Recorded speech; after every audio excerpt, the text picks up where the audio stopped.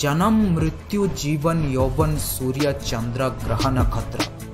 इस संसार के जीवन, मृत्यु चक्र में सदा सर्वदा वो ही विद्यमान है, जो है जगत के नाथ प्रभु श्री जगन्नाथ।